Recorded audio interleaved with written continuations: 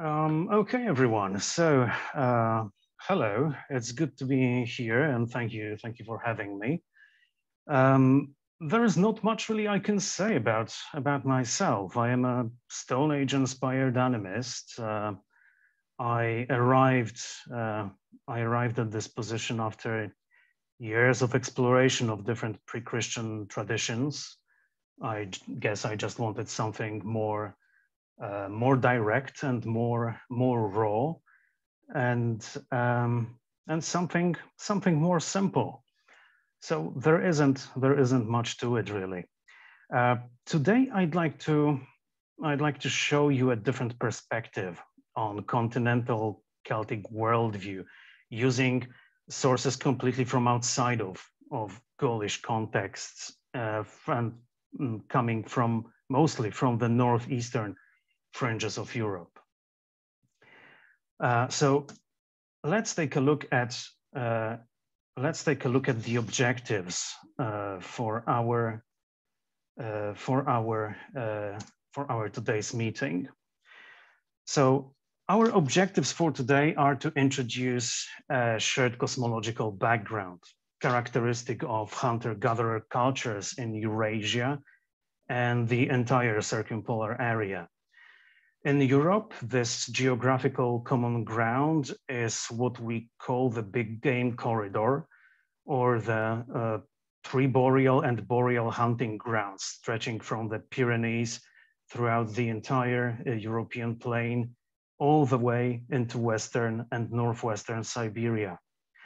Uh, we will introduce some common mythological base for the circum, circumpolar, uh, for, for, for, the circumpolar region and tie it together with the cosmological model associated with that.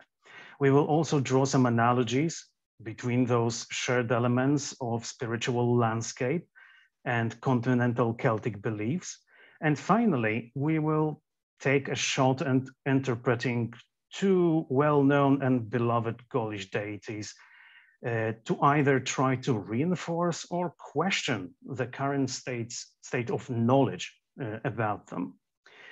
So I do realize what I will say might be a bit confusing at times, uh, but I'll do my best not to be the guy in the picture and I promise you there is a logical order to it and eventually it'll all fall into place.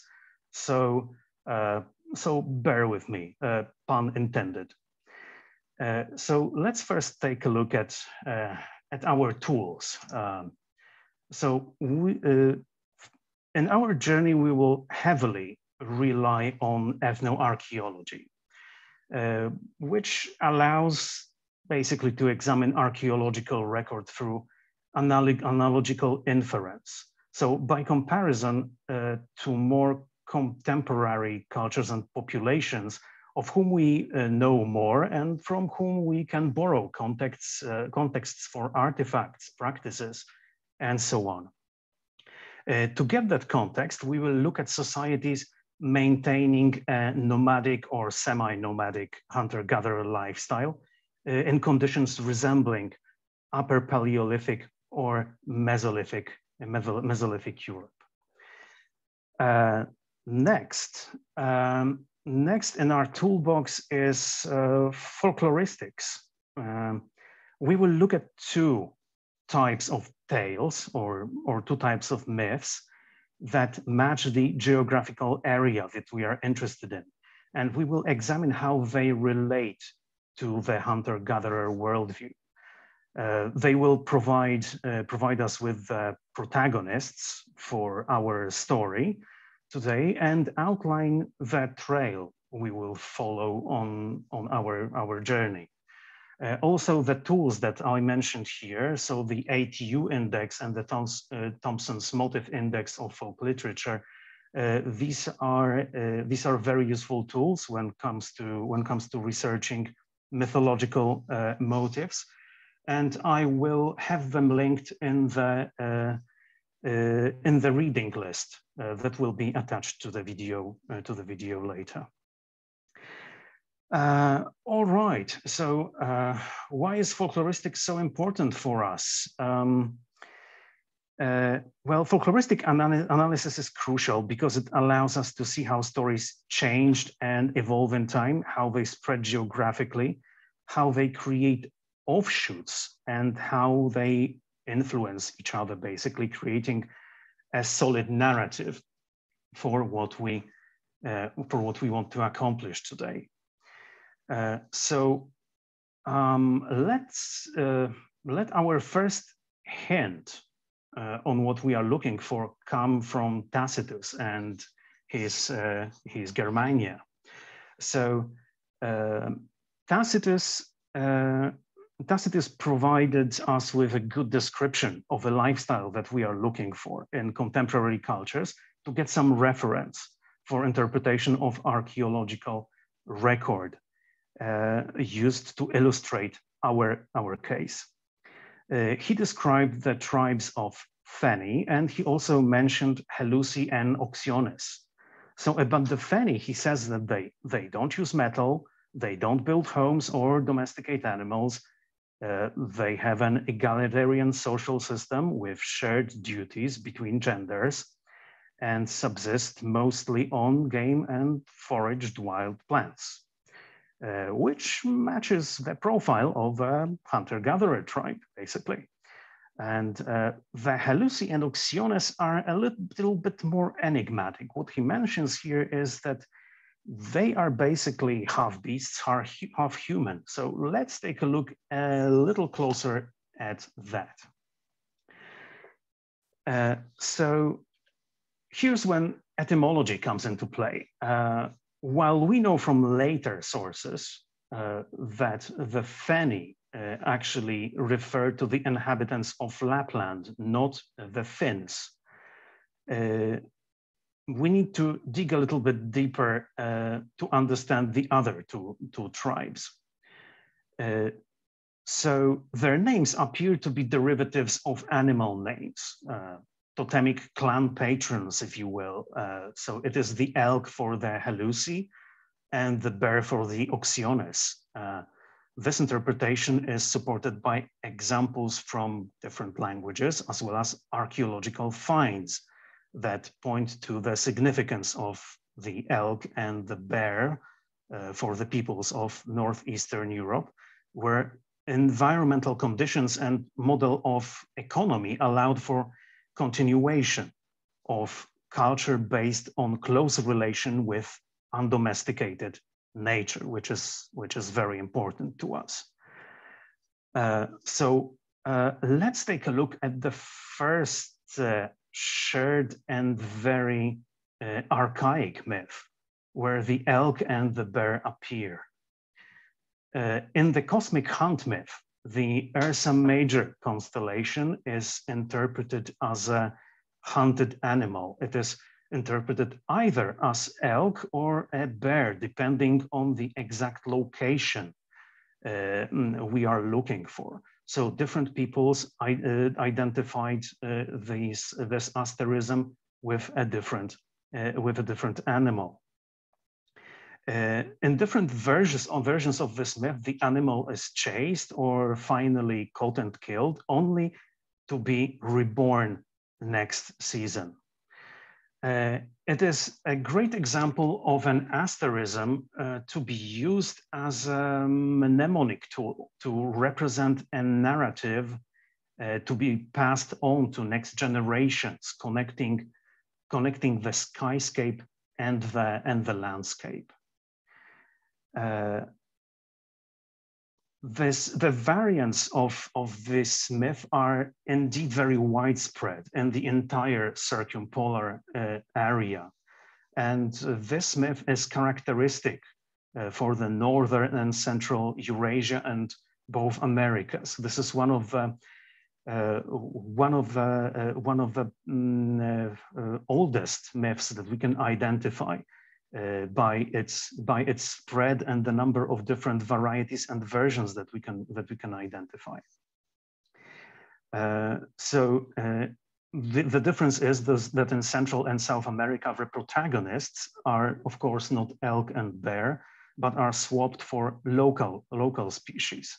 So this um, reinforces the idea of totemic tribal identification uh, based on the interpretation of this constellation as, uh, as, as an animal, either bear, bear or, uh, or elk in our case, uh, depending on location.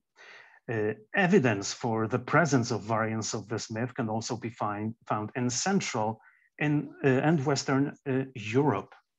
And this is where what this is what brings us to a very interesting case. So a good example uh, illustrating the significance of both both elk and bear uh, comes from uh, from northwestern Poland, where a 9,000 year old Mesolithic sanctuary was discovered. Uh, one of a kind discovery, really. Uh, the area contains um, a model of the Ursa Major asterism surrounded by sacrificial, sacrificial deposits. Uh, and I really wish I could go more in depth here, but with our time constraints, and it's, unfortunate, it's unfortunately not possible, but this is a really interesting case. Uh, so apart from the sacrificial deposits, which clearly ident uh, clearly point to the, uh, the ritual significance of this place, uh, another important aspect is uh, the location of this, uh, of the sanctuary. It was located on a sandy, sandy shelf on the, on the shore of a, of, of a lake, which on clear nights would provide the viewers with uh, with three scenes, uh, the same scene actually locate, uh, reflected in three different places. So we would have the original constellation in the sky. We would have the, um, uh, the representation of the constellation on the ground. And there was another constellation reflected in the uh, surface of the water. So as a result, um, it is the oldest known site relating to the idea of the cosmic hunt uh, in the context of a threefold model of the universe. And this is, this is 9,000 years ago. Uh, so the threefold model of the universe is common in the circumpolar area. And it is also known in Gaulish cosmology, as, as we know. So the division of reality into the realms of sky, land, and sea uh, can be observed in many cultures and, and locations, uh, where the hunter-gatherer lifestyle was maintained throughout the Neolithic, Bronze, and, and Iron Ages.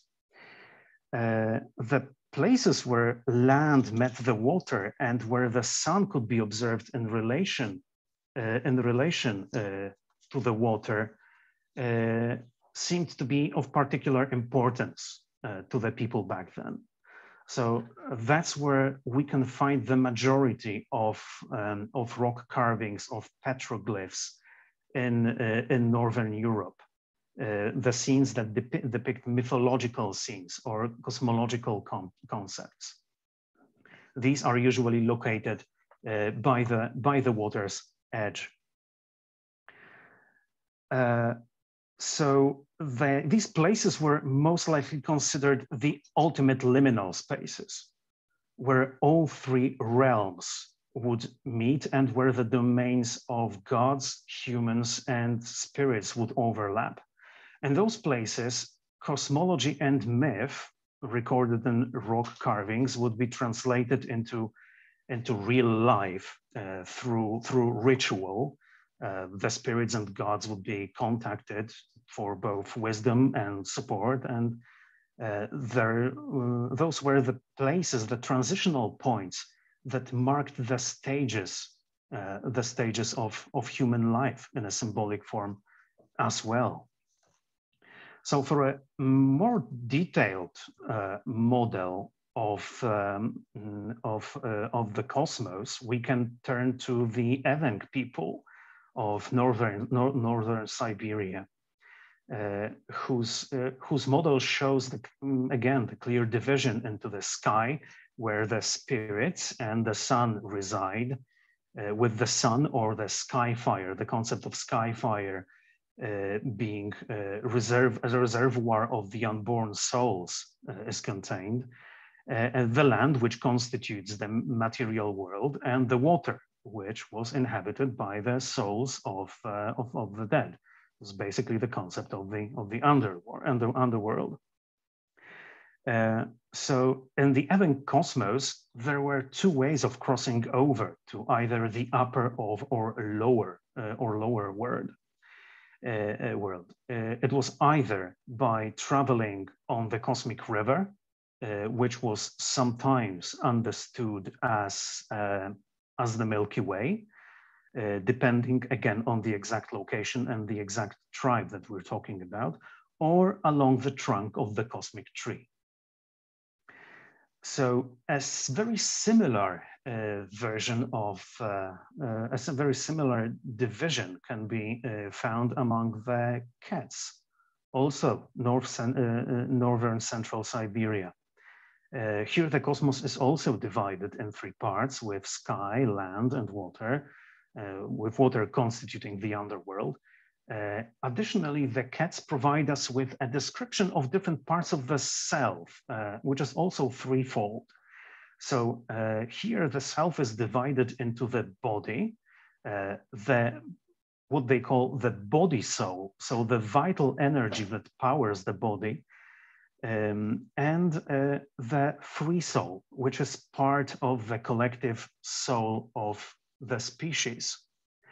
So the free souls are considered masters of the respective species and embody the characteristics of the animal in question. And in, uh, in ket cosmology, the free spirits can be asked by a shaman as an intermediary between humans and the spirits to grant them the skills or abilities of the animals of the desired, desired type. So at this point, uh, I guess we could say that there is a certain cosmological framework emerging here. So within the threefold universe, we have uh, the water walking sky elk uh, as the intermediary between humans and the spirits, including those residing in the underworld. Uh, himself, uh, capable of revival once killed, basically immortal, and the bear, uh, who in turn is the chief of the spirit, uh, sp uh, um, the chief uh, spirit, sorry, of the animal animals and governs the world of nature with its cycles, acting as a mediator between humans and animals.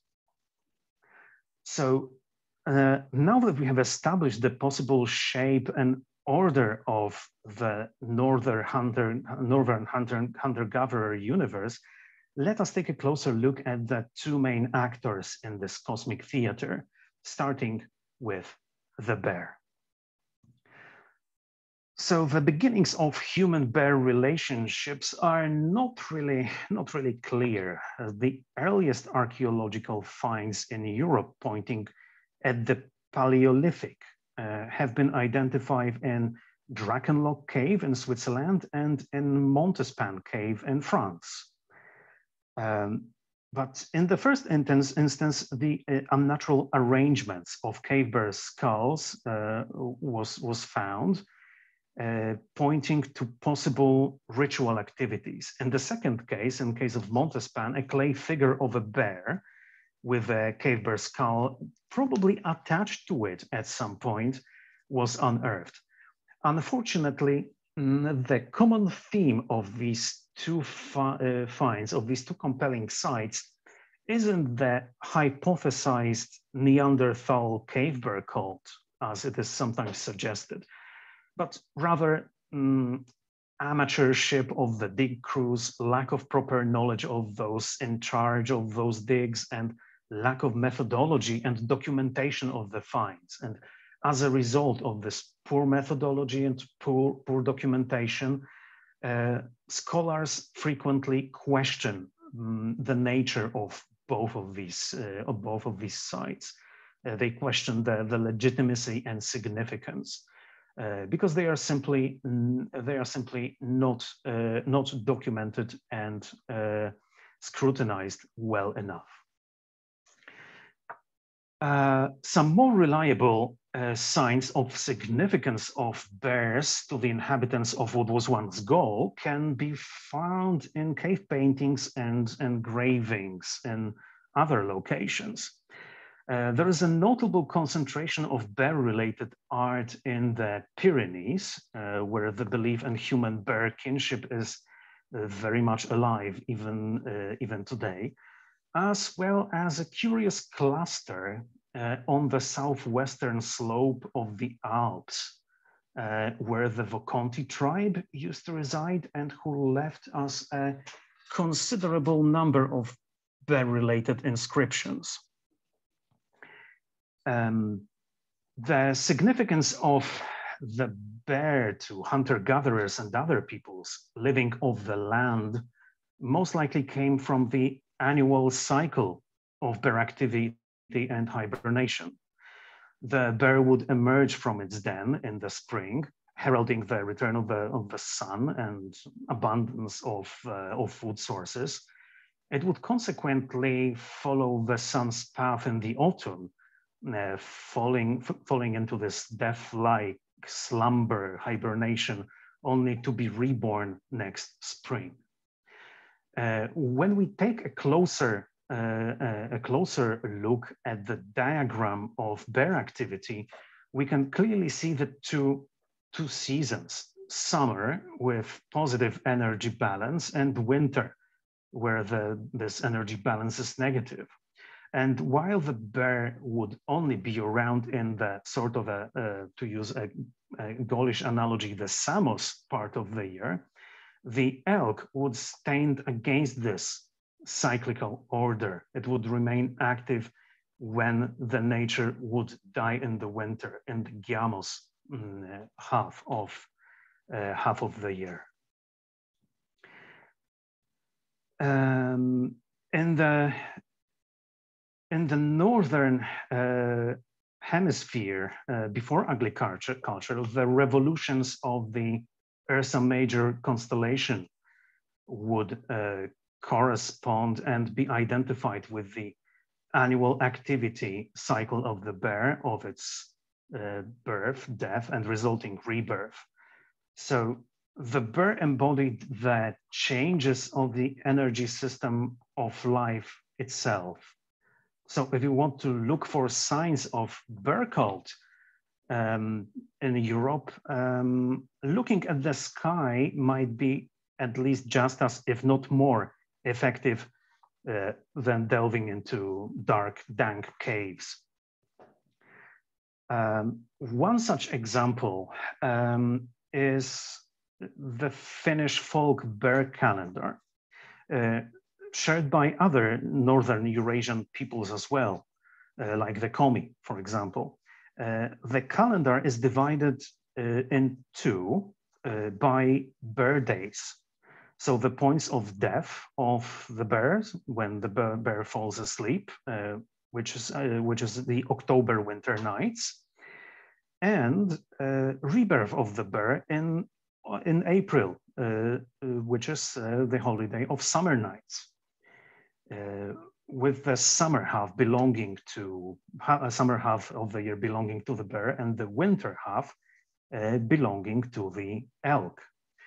But it is worth noting in this case uh, that um, both transitional days are being called, called bear days, which points to the prominence of this um, Ursine patron uh, among, uh, among the people observing this, uh, this calendar.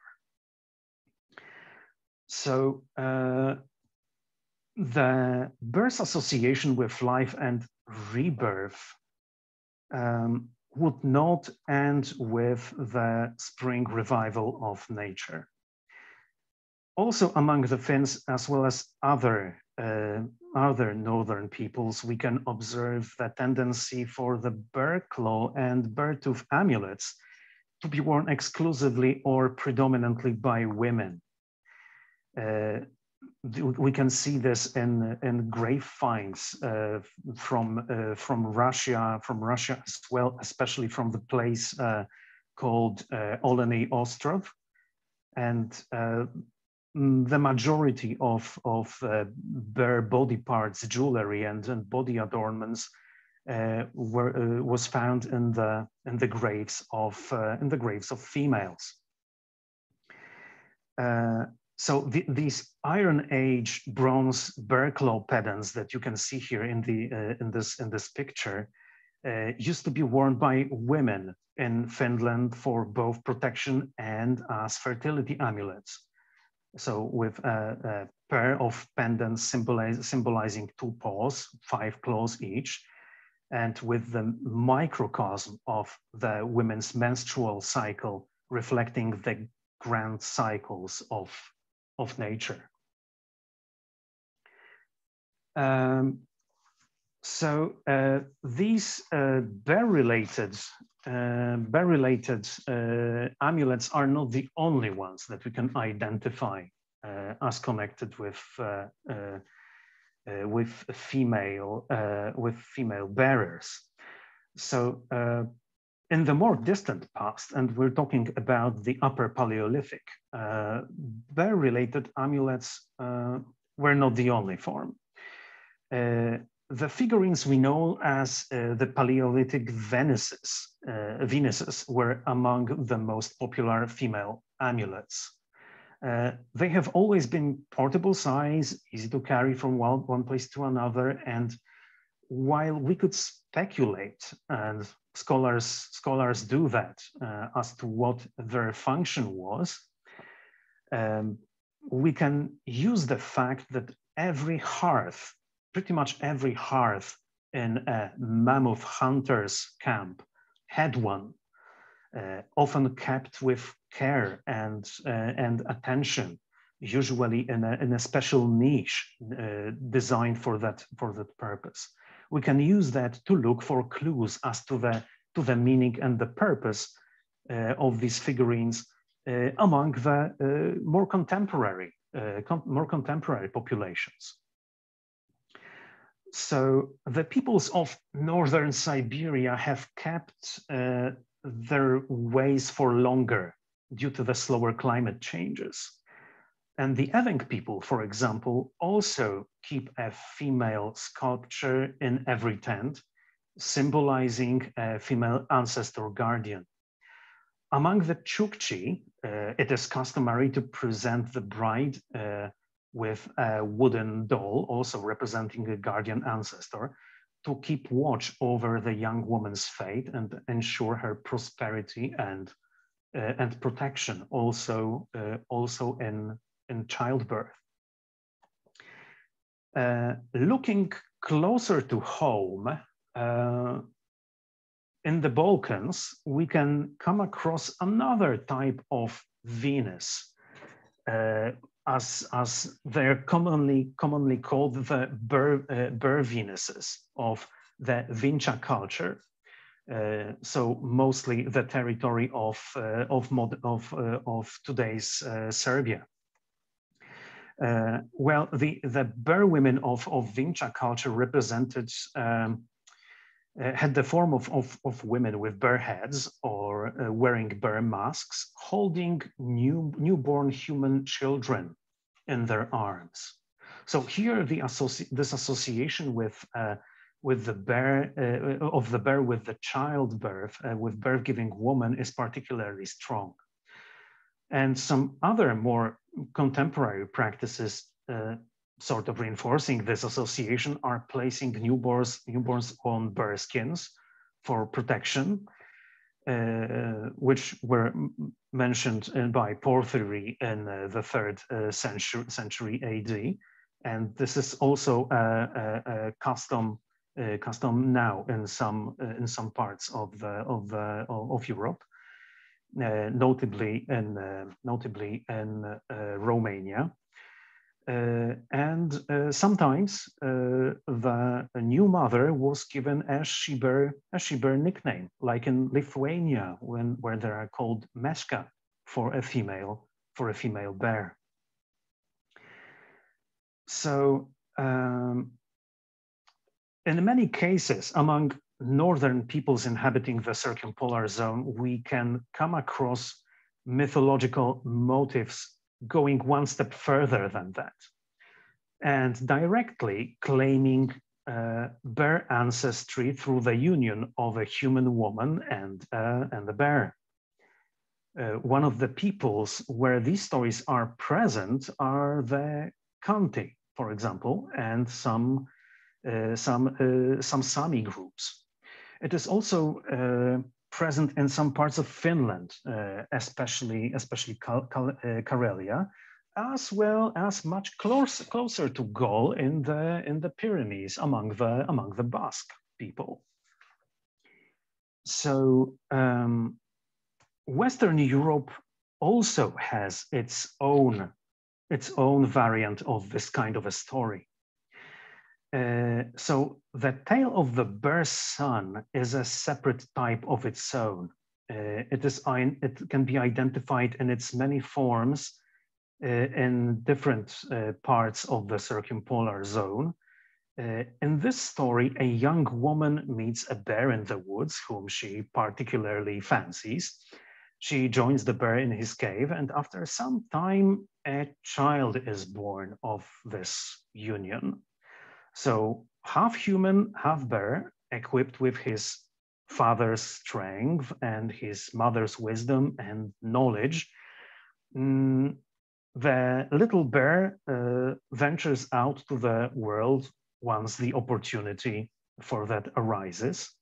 And in other variants of this tale, it is actually a she bear who shapeshifts into the first woman and gives birth to the first half bear, half human, who in turn becomes the ancestor of humankind. So again, depending on, on exact location, we will encounter different variants of this, uh, of this uh, tale. Of course, uh, the belief in human bear union was uh, very much alive throughout uh, human history, including, uh, including the Middle Ages. Uh, some of the greatest heroes uh, that we know from legends, like Beowulf or King Arthur, traced their roots back to Ursine ancestors or uh, carried some, uh, their names carried some Ursine uh, etymology. there seems to be a common theme of a bear-like hero embarking on an errand to defeat evil and bring back prosperity uh, to the uh, to the people and the land, making making friends on the way, forging alliances uh, as they get closer to their final final battle with the with the with the, with the antagonists. Um, a similar motive can be found in the in the story of the bear's son, uh, who encounters the uh, four spirit spirit helpers on on his way. Uh, he offers them help, uh, demonstrating mm, demonstrating kind heart in the process, and also also wisdom acquired from his mother. And the grateful spirits uh, award the bear's son with with amulets, with pieces. Uh, uh, with pieces of, uh, of, of their body, of, of, with, with tokens that allow, uh, allow the, the little bear to shapeshift into uh, into other animals, into this, these animal spirit forms, a skill that will prove invaluable uh, to, the, to that little bear very soon when he comes face to face with, uh, with the villain of his story. Now, uh, when it comes to male bear figures in the Gaulish context, um, there aren't many examples. Um, one we can identify from an actual inscription is Artaios, of course, uh, mentioned as an epithet of, of Mercury. Uh, whether this is a separate entity is a subject of debate, of debate among scholars, and there are different interpretations here. Um, and so is potential sphere of his influence. So uh, by, uh, by proxy of Mercury, it is often identified as money making, and money making and plenty. Uh, but still, uh, from what I have seen in the in, in, the academic in the academic sources, there is there is still debate going on about it. Uh, uh, a bit of a difference. Uh, it is a bit of a different case when it comes to female bear uh, figures. Here, uh, strictly in Gaulish context, we have we have two, and uh, one, of course, is Andarta, attested in seven inscriptions left by the Vocontii tribe, who also, as we as we recall recalled, happened to inhabit um, this area where a number of bear cave uh, paintings uh, were located. Uh, and the material associated uh, with the, the great she-bear, as her name is, uh, is uh, often translated, doesn't give us many hints as to her possible sphere of influence. Another example is um, is, of course, the very well-known Artio, uh, known from just two inscriptions, but we have more context here. Uh, one is one uh, one is uh, one inscription is from Trier in Germany, and the other one uh, from uh, Muri in Switzerland. Now, while the inscriptions themselves don't give us much to work with as well, we have a certain clue as to the Artio of Muri. Uh, this uh, uh, this figurine, this this sculpture was uh, uh, was supposedly once located in a Roman garden, which may point towards her domain as a goddess of abundance, abundance of of nature. So given what we have discussed about the uh, archaic roots of the bear cult in the Northern hemisphere and how they can reflect on uh, on this uh, shared uh, this shared body of, of myth and shared body of beliefs. Um, uh, it is my opinion that it is safe to assign the following attributes to Artio or or Andarta, uh, the guardian of the natural world, its cycles of death and rebirth, its abundance and plenty, and an intermediary between humans and the natural world, keeper of the covenant between humans and nature, patroness of women, childbirth, childcare, and education,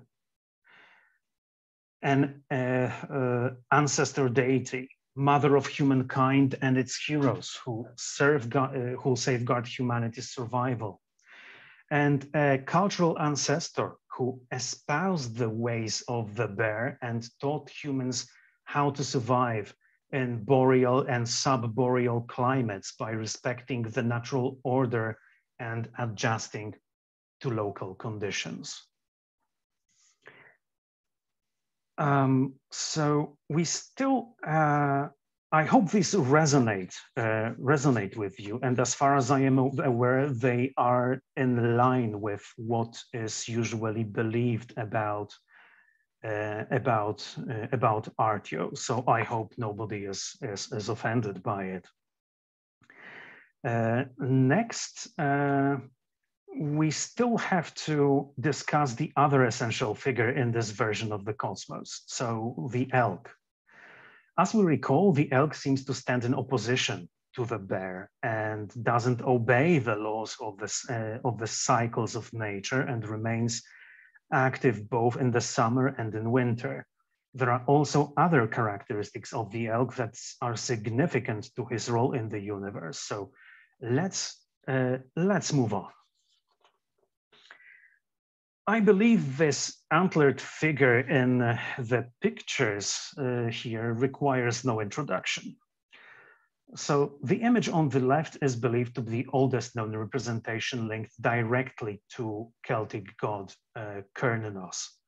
While it is notoriously hard to date the Valcamonica petroglyphs, they provide a wealth of information amassed between uh, amassed between uh, the early Bronze Age and the Middle Ages. Curiously enough, a similar, similar images containing the same attributes can be found in other places, far away from the Alps, like the image um, on the right, which is from, from Utah uh, in the USA. While possible connections remain a mystery between the, the two images, there are clues suggesting common origins of both.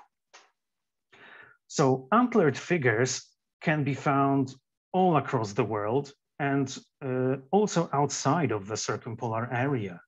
Here are some examples of uh, starting, uh, some examples of, um, of these figures, starting with uh, the, the, the, famous uh, sorcerer of the Three Brothers Cave in France, uh, two examples of um, Mesolithic, uh, Mesolithic images from Spain, and for comparison, an image from Mesolithic India.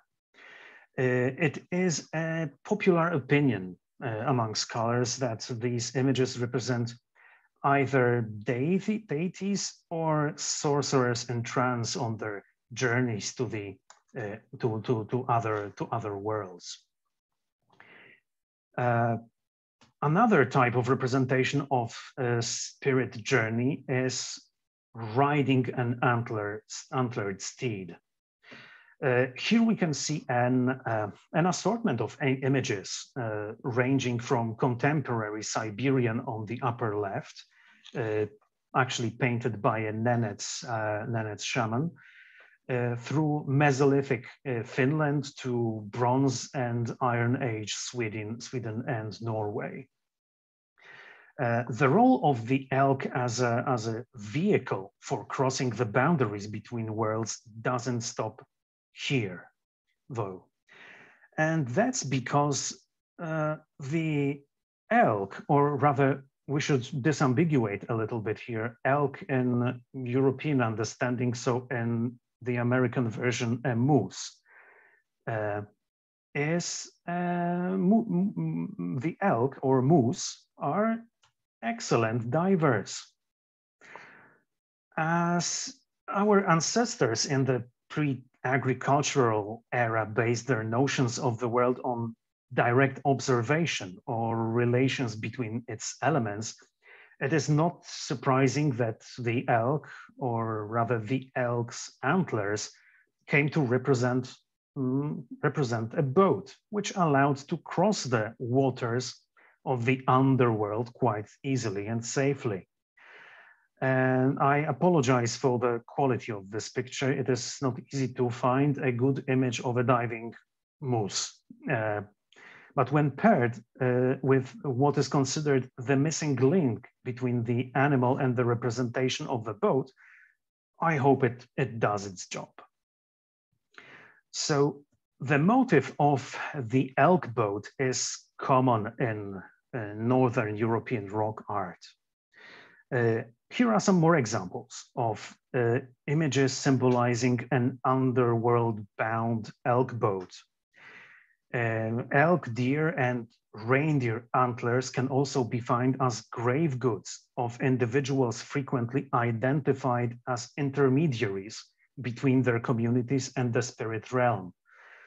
Uh, so I realize the word the, the word shaman uh, is uh, should be used specifically for the uh, for the Siberian context, uh, but frequently in in in, in academic in academic papers we can we can encounter the word shaman being being used in more in, in a broader context.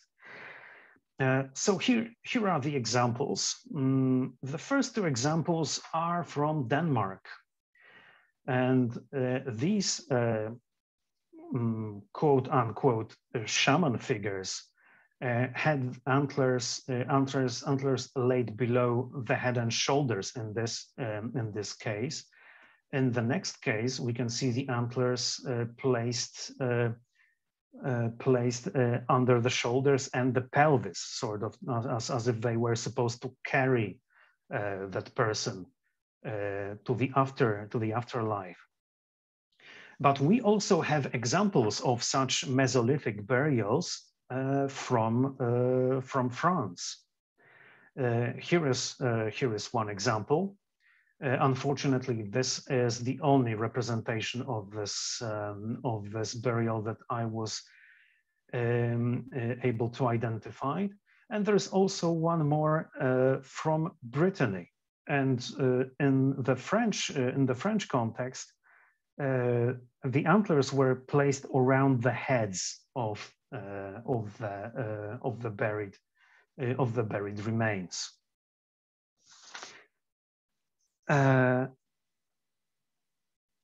of the buried of those buried remains. All right so the use of uh, the use of bear skins uh, Uh, and deer skins uh, to uh, to ensure the secure passage uh, to the to the afterlife.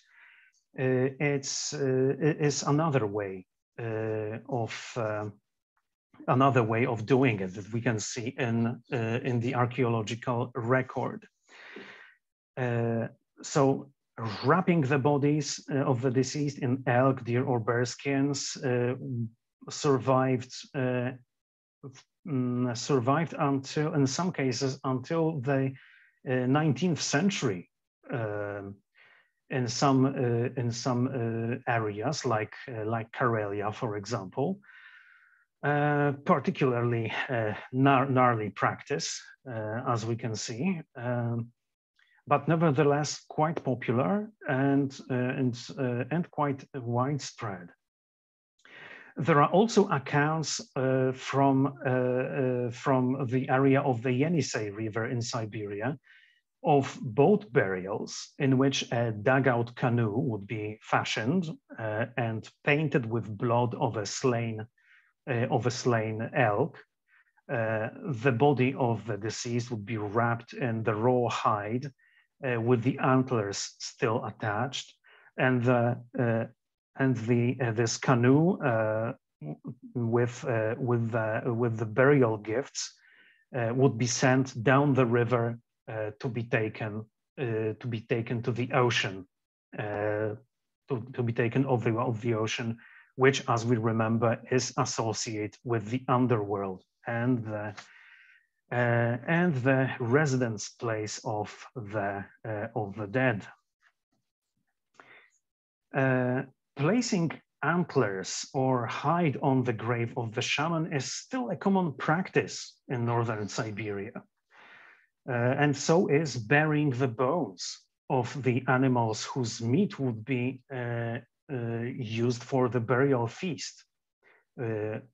And this way of communion with, this, with the animal spirit uh, is supposed to grant and, uh, and, and secure safe passage to the, to the underworld as well. Uh, in the in Sami myths or in the in the Sami uh, cycle of myths uh, about deer people, uh, the wrapping uh, the wrapping in animal skins is supposed to guarantee rebirth it's supposed to guarantee rebirth as part of, uh, of the animal kingdom, as part of the land. And here we can see an interesting case of a, uh, of a Sami burial mound, uh, which is located on the lake shore. Uh, as we mentioned before, this is a significant, this is a significant location uh, where the sky, the land, and the sea, and then the water uh, meet. Uh, and there is also an antlered uh, and antlered figure guarding um, guarding this burial mound visible there on, on the top. so it uh, so it wasn't uh, so carrying individual souls to the afterlife wasn't afterlife wasn't the only ability of the elk. The elk could also carry the very soul of the uh, the very source of the souls with him. Uh, and this brings us back to the story of the uh, story about the uh, about the bear's son. So as time passed, the little bear uh, the, the, little bear uh, traveled further until he came across across across a, a homestead uh, where he met a young woman, and obviously the little bear falls, falls in love uh, and wants to wants to take the girl, take the girl with him. Uh, the girl unfortunately cannot leave uh, because her old father, her old immortal father, uh, holds her captive. And it's, and it's not a coincidence that I used the image of the Egtved girl here uh, with, her, uh, with her outfit with the sun disk located in the uteral uh, area. As we remember, the sun is the symbol of the source of the soul, it, uh, the souls. It is the, it is the symbol. Uh, it is the symbol of life. It is uh, the life-giving force. Uh, just like uh, just like a young woman in this case is the one capable of creating creating new life, bringing bringing new life into the world. Uh, so um, as uh, as they talk, as the as the little bear talks with with the girl, she reveals a plan to him that uh, may work in uh, that may work to find uh, to find how to kill how to kill the the old the old elk who captured who captured the sun. Uh, the girl suggests that the, uh, the little bear should shapeshift into a form that, allow, would, that would allow him to uh, that would allow him to hide so that the elk would not see him. And then the girl would ask the elk to uh, uh as to what would make him mortal again. Uh, and so the bear uses one of the tokens that he got from his uh, spirit uh, spirit helpers he uses the leg of an ant to transform himself into an ant, hides himself in the bushes, and uh, the, uh, uh, the recipe to kill uh, the elk is revealed to him. Uh, so this notion, uh, this myth of the deer or elk stealing the sun is uh, also quite widespread in, the, in both the uh, Eura in both Eurasia and North America. So the deer is thought to have stolen the sun. Uh, it's either on autumnal equinox or winter solstice to uh, and to restore fire and to restore light uh, a carnivore such as a lion or bear, it is usually, uh, it is a lion frequently in, in Northern America, um, uh, needs to kill the, needs to kill the deer or the elk. And then the sun is returned, returned at the vernal equinox or summer solstice, depending on the, depending on the location. So here we can see some more examples of uh, combination of the symbols uh, of the sun and the elk, as we mentioned before. So the image of the sun boat is another popular one in uh, in uh, in uh, the north in the north of Europe, and it symbolizes it symbolizes this um, the, the kidnapping of the sun by by the elk in its earlier forms. And in later form, forms, of course, it, is, it relates to uh, a slightly different concept. As you can see, some in some cases, these, these sun boats appear in twos. So um, this, is a, uh, this is a reference to uh, this is a reference to the divine twins, but we will get to it in a moment. Uh, so uh, as a curiosity, we can mention that the uh, sunship can also be found in Canada.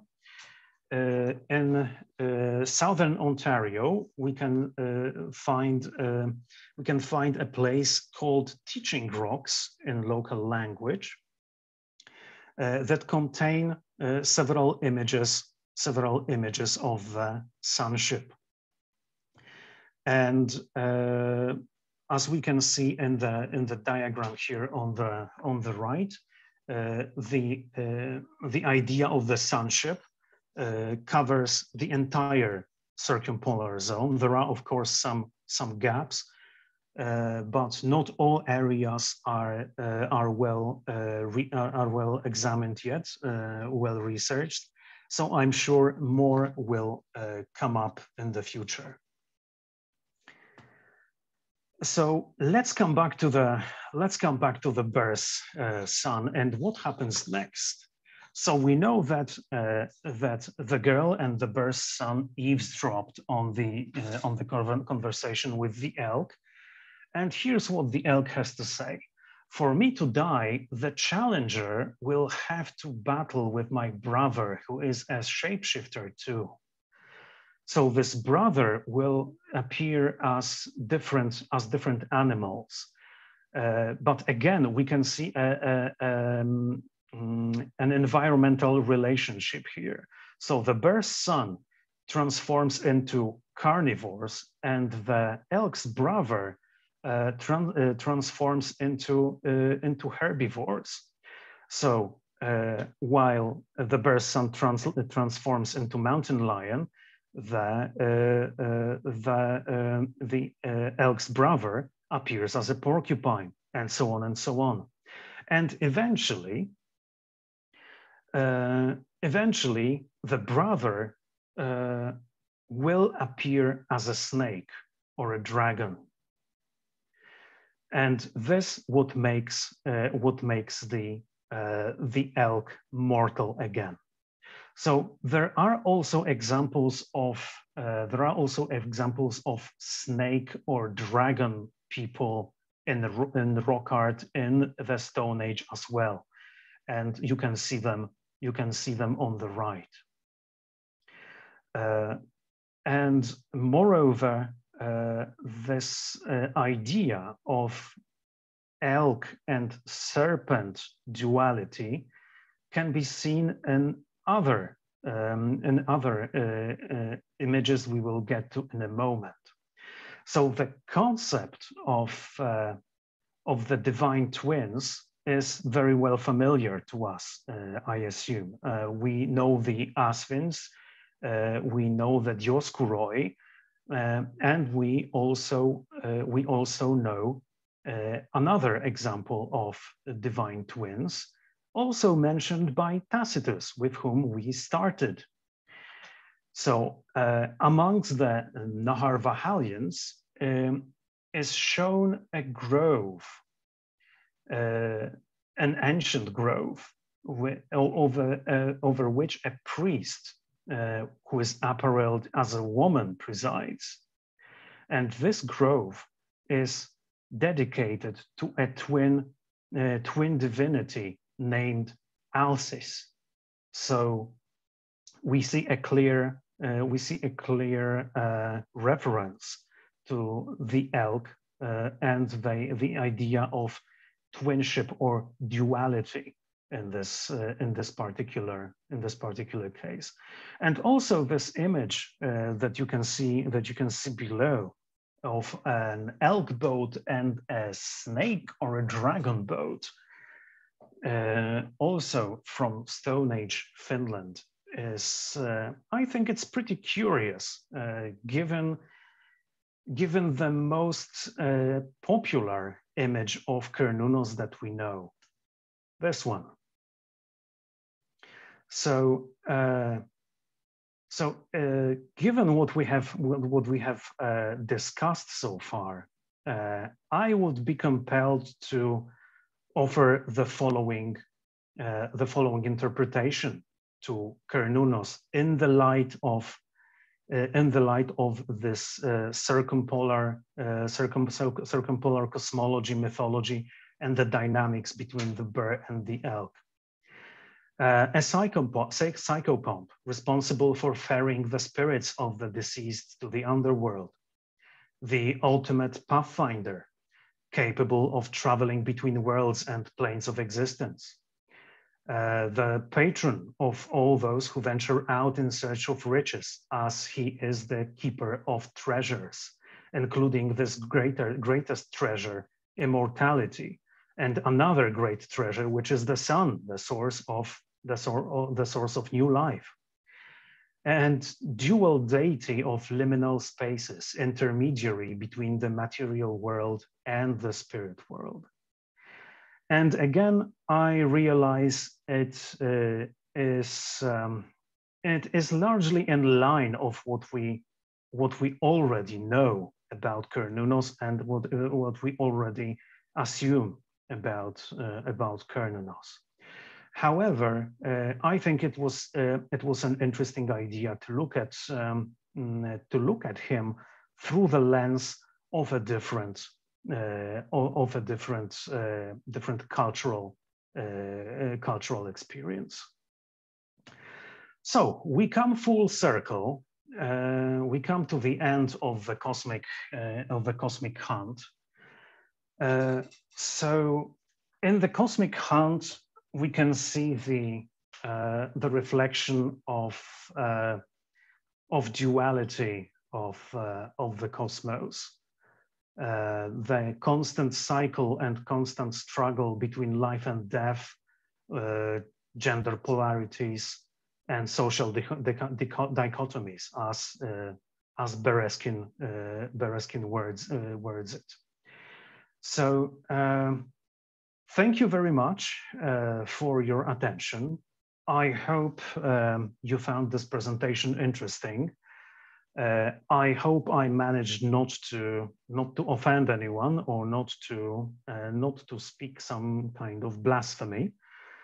Uh, and uh, yes, I I have uh, some more ideas coming soon. We haven't explored these topics in full. Mm, there are there, there are more interesting motives that could be linked to uh, to the Gaulish system of beliefs in there that we can explore. And I hope I will have an opportunity to present them to you next time. Thank you very much.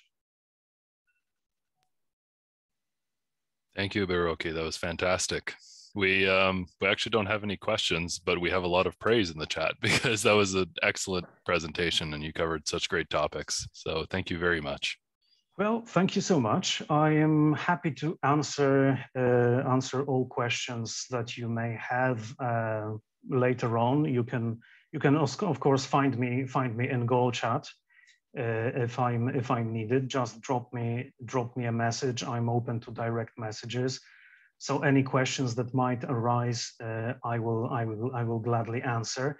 And of course, um, uh, of course, there, there will be an extensive bi bibliography attached to uh, attached to the video uh, after it is uploaded uh, after it is uploaded uh, to YouTube. So you will be able to actually examine the sources yourself if you would like to delve into the topic a little bit deeper.